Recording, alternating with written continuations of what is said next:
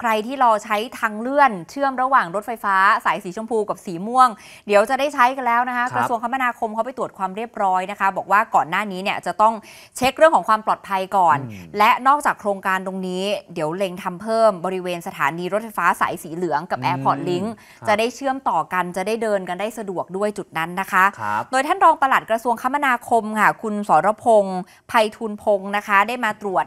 การใช้งาน ทางเดินเลื่อนอัตโนมัติของรถไฟฟ้ามหานครสายสีชมพู สถานีศูนย์ราชการนนทบุรีค่ะ ที่เชื่อมต่อกับรถไฟฟ้าสายสีม่วง เมื่อวานนี้เปิดใช้งานเป็นวันแรกนะคะ ซึ่งทันเลื่อนทางเลื่อนตรงนี้เขาจะแบ่งเป็น 3 ช่วง ทั้งไปแล้วก็กลับ ระยะทางรวม 345 เมตร ช่วยอำนวยความสะดวกให้กับผู้โดยสารที่จะต้องเดินเชื่อม ระหว่างรถไฟฟ้าสายสีชมพู แล้วก็สายสีม่วง ซึ่งมีประมาณ 3-4,000 คนต่อวัน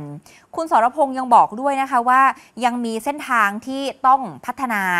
ทางเชื่อมในลักษณะนี้ก็คือบริเวณรถไฟฟ้าสายสีเหลืองสถานีหัวหมากกับ รถไฟฟ้า Airport Link ค่ะ ขณะนี้อยู่ระหว่างการศึกษาออกแบบ แล้วก็อาจจะนำเข้าคอรมอเพื่อของบอนุมัติงบประมาณต่อไปค่ะ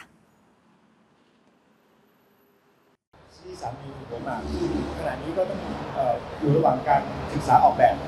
ของรฟมแล้วก็จะเอาเข้าทั้งการจัดระบบการจราจรทางบกและก็คณะรัฐมนตรีเพื่อขอรับการสนับสนุนด้านงบประมาณต่อไปครับ สถานีที่ผมมาเนี่ยเราเห็นว่าพี่น้องประชาชนมีการเดินทางเชื่อมระหว่างทั้งสองสายยังไม่ได้ความสะดวกเท่าที่ควรเนื่องจากต้องมีการข้ามถนนข้ามทางรถไฟนะครับต้องลงไปติดพื้นที่เดินเท้านะครับท่านท่านตีเองก็ได้ไปตรวจแล้วก็ไปสำรวจเรียบร้อยแล้ว แล้วก็มีการข้อสั่งการ ซึ่งผมก็เองก็รับบัญชามาแล้วจะเร่งรัดดำเนินการต่อไปครับ และทางเดินลอยฟ้าเชื่อมระหว่างรถไฟฟ้าสายสีชมพู และสีม่วงนะคะ คือความจริงเนี่ยก็ แล้วเสร็จตั้งแต่ช่วงปลายปี แต่ว่า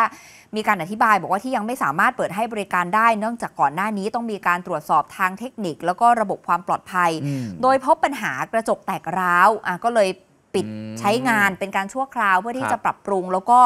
ติดตั้งกระจกใหม่อะณตอนนี้มีการทดสอบระบบ แล้วก็ติดตั้งกระจกใหม่เป็นที่เรียบร้อยแล้ว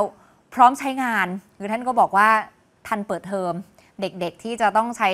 เส้นทางรถไฟฟ้าเนี่ยสายสีชมพูสายสีม่วงก็จะใช้บริการได้ทันทีนะคะ คุณสรพงษ์ยังได้ติดตามความคืบหน้าในการก่อสร้างโครงการรถไฟฟ้าสายสีม่วง ช่วงเตาปูนราชบูรณะระยะทางรวมประมาณ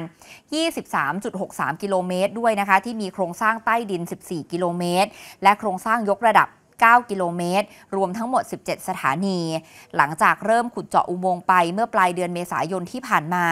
โดยคุณสรพงศ์ก็กำชับเรื่องมาตรการการป้องกัน และแก้ไขผลกระทบต่อสิ่งแวดล้อม โดยเฉพาะการ